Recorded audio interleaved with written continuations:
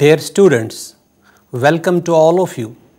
Today we are going to discuss the topic mechanism of opening and closing of stomata.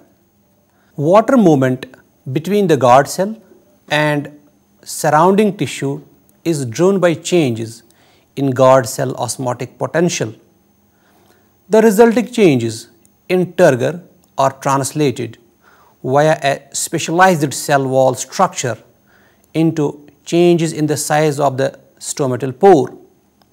The fundamental role of osmotic potential was demonstrated in the mid 19th century by von Mohl in 1856 who showed that open stomata could be made to close by placing them in solutions of increasing osmotic strength. A stomata is a microscopic pore on the surface of land plants. It is surrounded by a pair of specialized epidermal cells called guard cells which act as a turgor driven valve that open and close the pores in response to given environmental conditions. The guard cells are connected with the adjacent epidermal cells through plasmodesmata. Typical stomates of dicots consist of two kidney-shaped guard cells. They are joined at their ends. The concavo-convex curvature of two guard cells is variable and causes stomatal pore to open and close in cereals, members of Cyperaceae and some palms, the guard cells are dumbbell shaped in outline. Their expanded ends are thin walled while middle portions are highly thick walled. Guard cells contain a few chloroplasts whereas their neighboring epidermal cells seldom do. The presence of countless numbers of stomata is critical for plant function. Typically, the plant epidermis is tightly sealed by wax coated interlocking epidermal pavement cells which protect the plant body from the dry atmosphere and ultraviolet rays. At the same time, plants must be able to exchange carbon dioxide and oxygen for photosynthesis and respiration. Stomata act as a gateway for efficient gas exchange and water movement from the roots through the vasculature to the atmosphere. Transpiration via stomata supplies water and minerals to the entire plant system. The unique structure of the stomata makes the plant more efficient and better able to cope during different environmental conditions. Less advanced plants such as liverworts do not have stomata. These plants have continuously open pores and therefore can only survive in extremely wet environments. The use of stomata, however, allows plants to survive in many different types of climates. Stomata are present in the sporophytic generation of all land plant groups except liverworts. Dicotyledons usually have more stomata on lower epidermis than the upper epidermis. Monocotyledons, on the other hand, usually have the same number of stomata on the two epidermises. In plants with floating leaves, stomata may be found only on the upper epidermis. Submerged leaves may lack stomata entirely. In oleander or pine, the stomates occur in a substomatal crypt. Such sunken stomates are apparently an adaptation to reduce transpiration. Stomata appeared with the first vascular plants in the lower Devonian. The properties of stomatal cell walls play a role in the mechanics and physiology of stomatal movements. Stomates function the way they do because of special features in the submicroscopic anatomy of their cell walls. The cellulose microfibrils or micelles that make up the plant cell walls are arranged around the circumference of the elongated guard cells as though they were radiating from a region at the center of the stomata. The result of this arrangement of microfibrils called radial micellation is that when a guard cell expands by taking up water, it cannot increase much in diameter because the microfibrils do not stretch much along their length. Therefore, because two guard cells are attached to each other at both ends, they bend outward when they swell which opens the stomata. During opening moments, the plasma lemma is convoluted and probably related to ion influx. Microtubules have been shown to be involved in wall building and probably in stomatal functioning.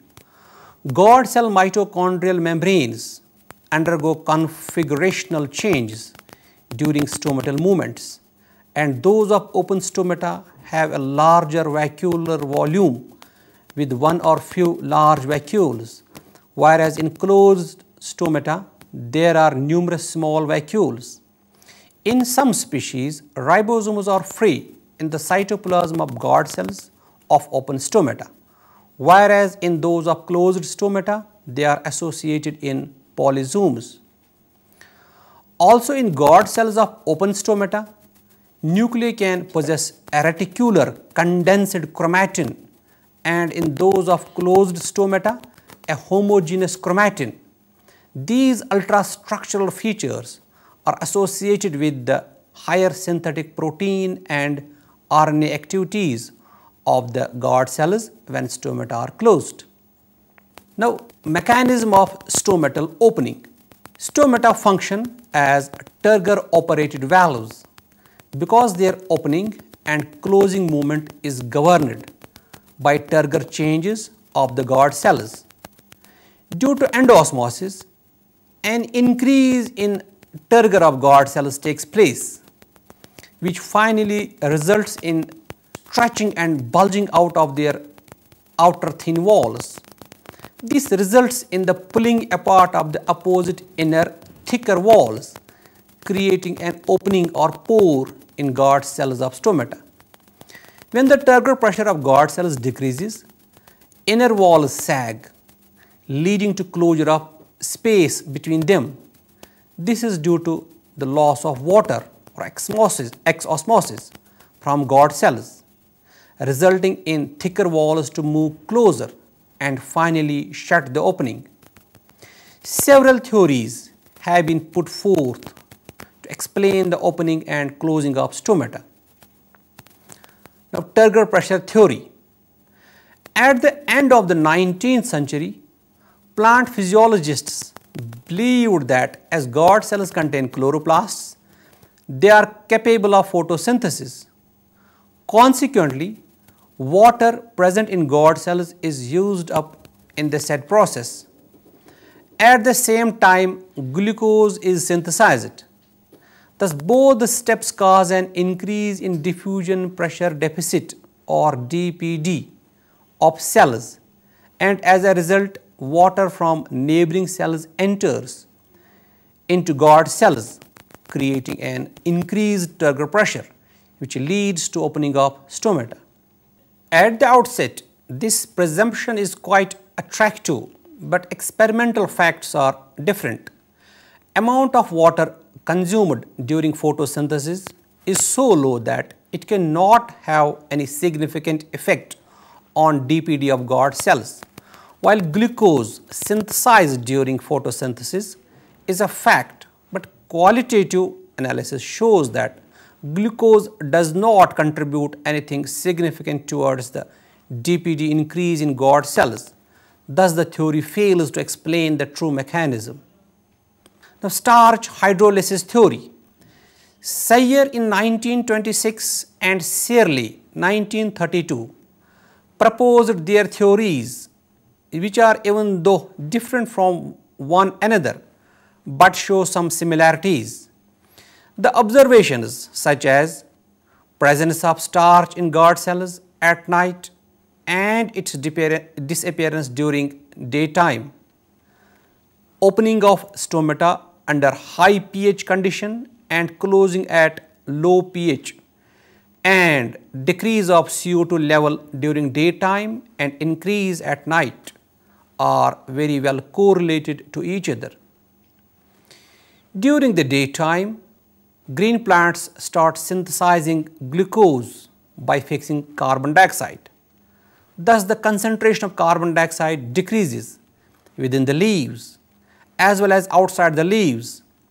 This decrease in carbon dioxide concentration raises or increases the pH of the cell sap of guard cells. Due to this change in pH, certain enzymes found in guard cells get activated and start hydrolyzing the starch which is osmotically inactive and results in release of glucose which is osmotically active.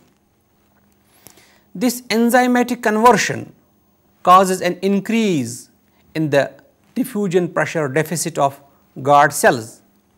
Automatically, a DPD gradient is created between the guard cells and neighboring cells, which make, makes the water to diffuse into guard cells. As a result, turgor pressure increases and guard cells bulge and open.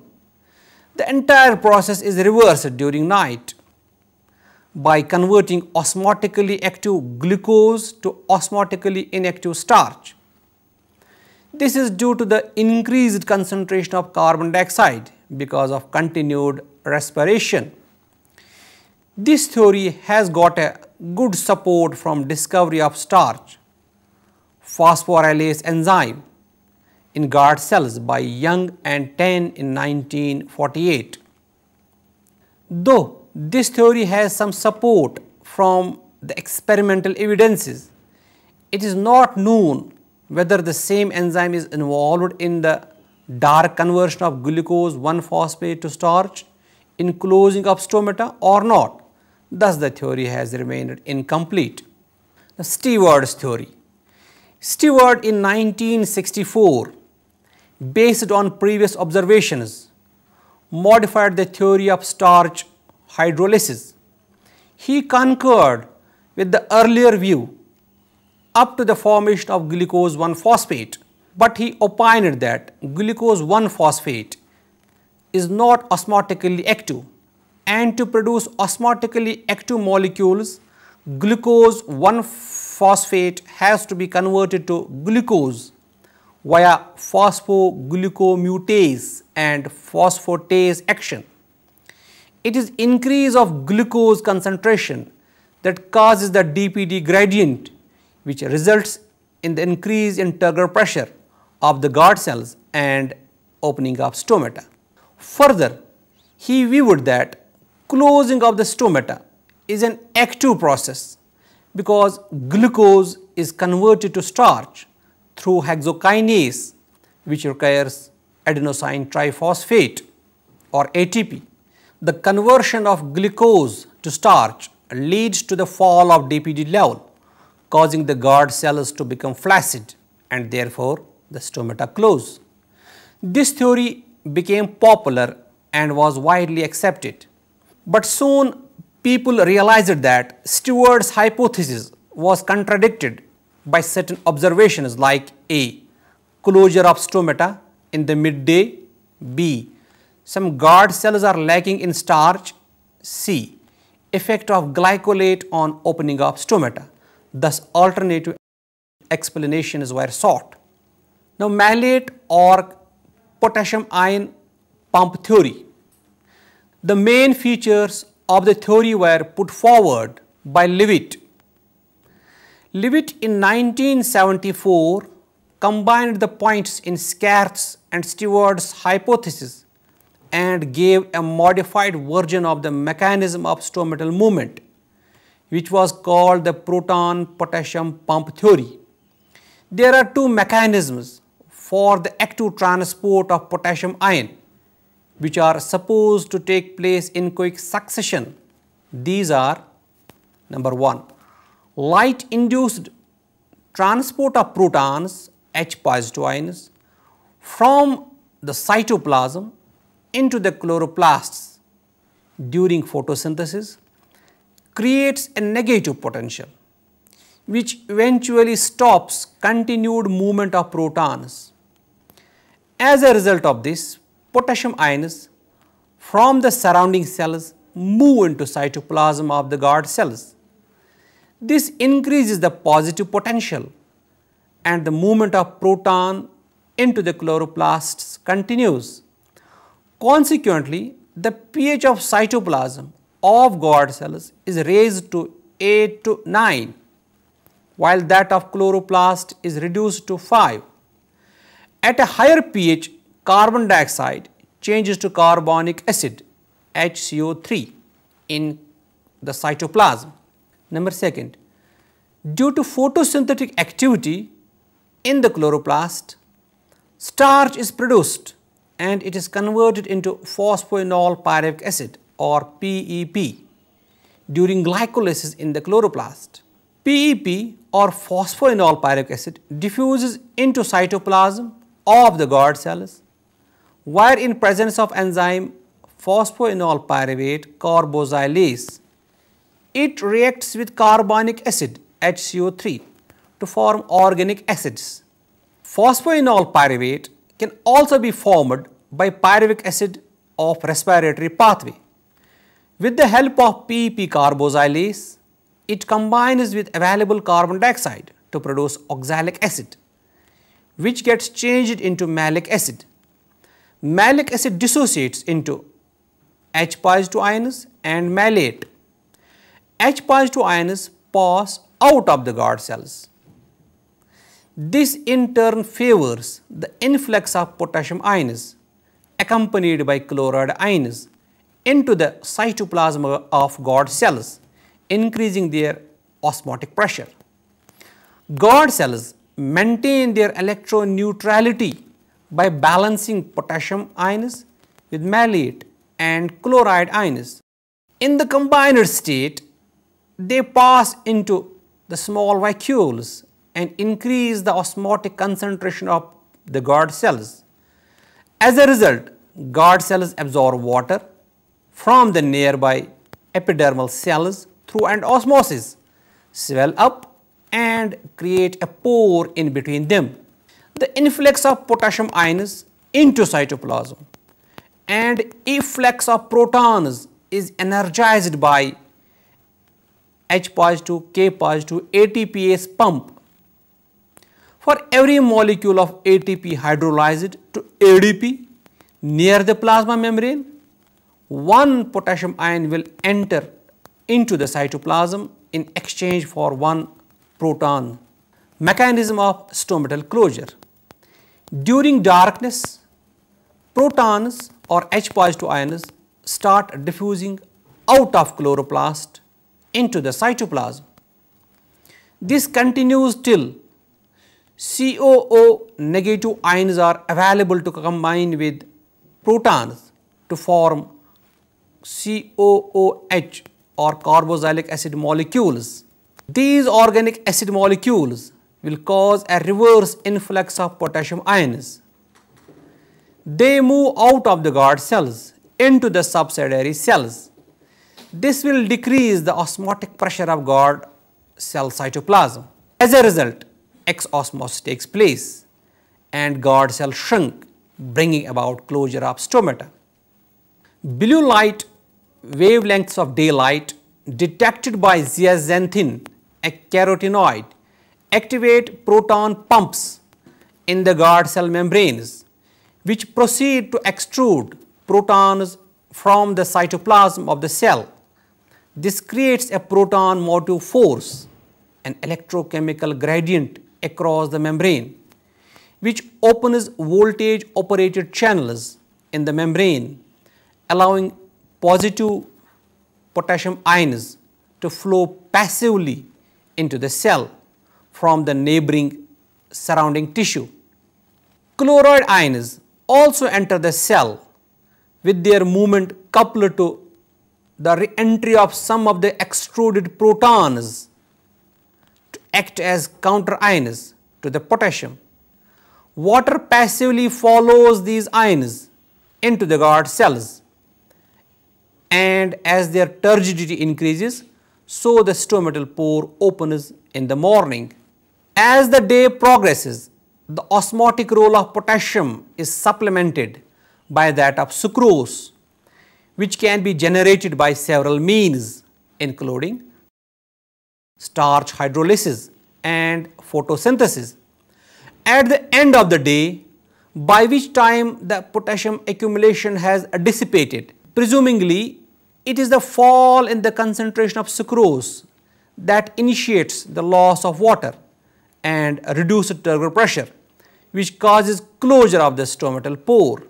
Abscisic acid is the messenger that causes stomates to close under slowly developing water stress. There are two feedback loops that control stomatal opening and closing.